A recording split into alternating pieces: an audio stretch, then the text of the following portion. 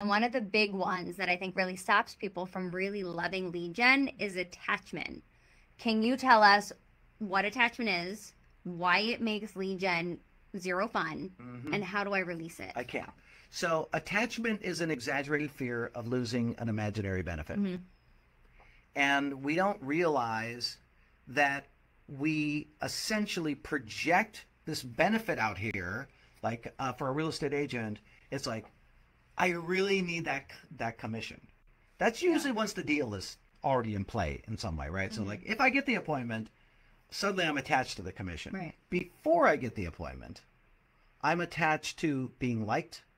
I'm attached to being wanted. I'm attached to uh, my status. Mm. I'm attached to being appreciated. I, I have all these attachments essentially. And so then I have this exaggerated fear inside of me that I'm going to lose the imaginary benefit I don't even have. I don't even have the benefit yet Yeah.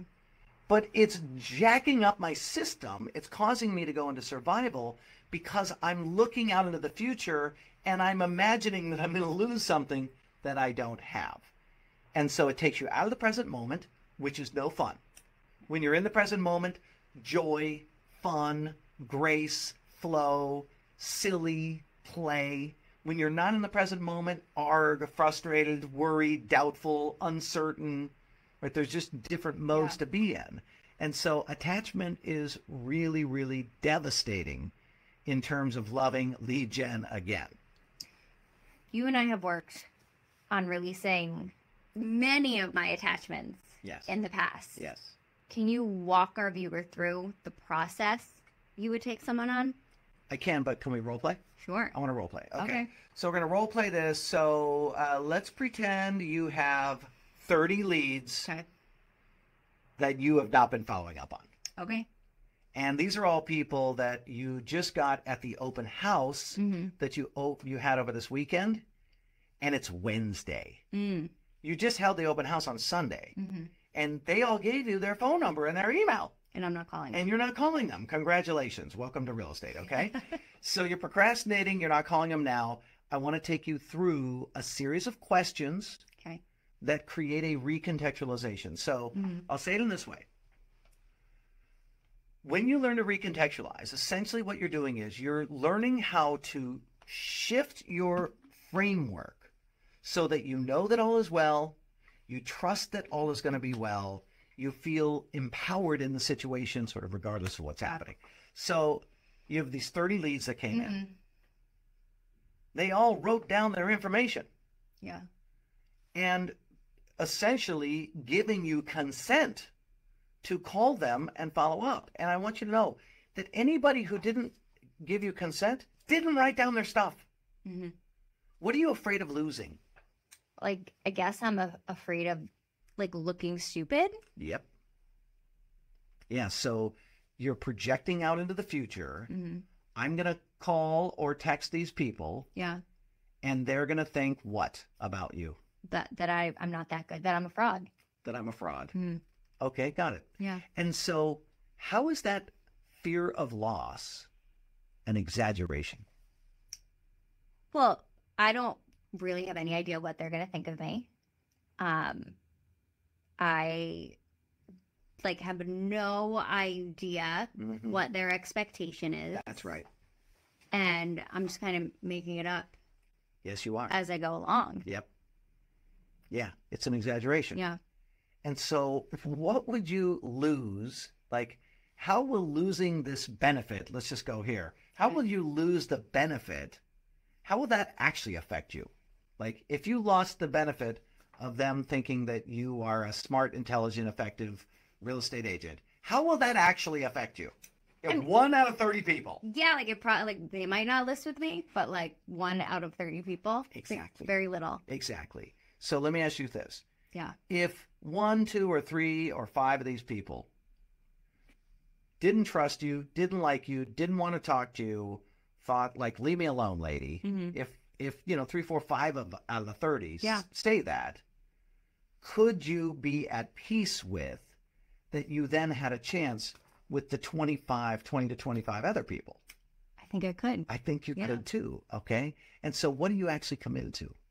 I'm committed to doing what I said I was going to do, which is call these people. And would you be willing to lower the bar Mm. and make it unbearably easy? How what is the as a millennial texter, Mhm. what is the lowest of lowering and lowering the bar? I'm teasing her. Yeah. What is the what is how do you lower the bar? I don't normally characterize people, but I thought it be Yeah, no, it's all good. And I don't know how many people like a realtor normally texts in a day, but I feel like five feels doable. Five. Bam. Yes. Five is doable. Okay, great. So we're going to do five today. So that's the process of releasing attachment. You release attachment by going through those five questions. And when you do that, all of a sudden you're like, okay. Yeah. Like I, I, I, mean, I can text five Yeah. people. Right. And, and, you know, like if it's me, I would like create some image in uh, ChatGPT or, uh, you know, DALL-E 3, and I would create an image of like me, you know, riding a a house with a rocket on it. You know what I mean? And a, and a sold sign. I would just do something super dorky Yeah. and just make it fun Mhm. and playful. Yeah. Carolyn said, um, so true, lower the bar. It's interesting. I don't know about anyone watching, but I know for myself, having done quite a bit of personal development in my life, you are the first person to ever present this idea of lowering the bar. Yeah. Most people are like, we'll just do more. We'll just, and then I did that to people as I was mentoring them. And I was like, oh, you're going to call 10, call tw- 20. Right. You know what I mean? And it was when you came into my life that I was like, oh, there's a whole contrarian way to do this that actually can feel good. Yeah. It's mind blowing. You don't have to do more. Yeah. It's okay to just do what you're doing now. Uh, I in on our Wednesday calls, so like part of our part of our group, we do uh, like three calls a week. So just in case you miss something, you know, you have something there, right? But uh, on our Wednesday calls, I usually will present an idea, and and like Kristen is like the main champion of this in our group. Like, what if you did the same amount of income this year, but you worked fifty percent less? Yeah. and and our members' minds just go like, "Oh, Yeah. what? Like, what does that look like, right? Mhm. And for you, like that, you're all about that. Yeah. Like you're basically like, I want the income, but I want to go to Pilates and I want to walk the dog on the beach a couple times a day, Yeah. and I want to get my spray tan and get my, you know, go, whatever, right? Yeah, all, uh-huh, all of all your stuff, things, right? yes. All of your stuff, Mhm. And and it took it took a good two or three years of Yeah. training in this methodology to get you to a place where you stopped being so wound up and boy, like, I have to do more. Yeah. Why? Uh, because that's what everyone says. I have to do more. It's like, well, why don't you do less? Why don't you do less and make the same amount? Like, do, how much more do you need? Yeah. No, it's so true. I remember the first Yeah. time you were like, you're going to take two weeks off. And I was like, what? Yeah. So just going to take two weeks off. I don't want you to prospect. I don't want you to do anything. And like my mind could not wrap itself around the concept. It was so disorienting to be like, I'm just going to not do anything for two weeks. Yeah. How's that going to work? Yeah. It was wild. And here we are. Yeah. Nine years later. Yeah. Nine years later, I never hired anyone else That's after right. that. And you're fully retired. Mhm. You're living on your passive income. You built a huge business that's Yeah. making you money. You've invested well to, to make money. I mean, you're living in California. You're living the dream, baby. Yeah. High five. I am. Yep. So if you're loving this and you're ready to start creating some miraculous results for yourself, if you want to give up the grind, if you want to work less, if you want to make more, if you want to make the same amount and just work half as much, Yes. Check out Matthew's new report. Check out his video. It outlines the three key results you can achieve by applying his science backed proprietary methodology, and the link for it is in the description.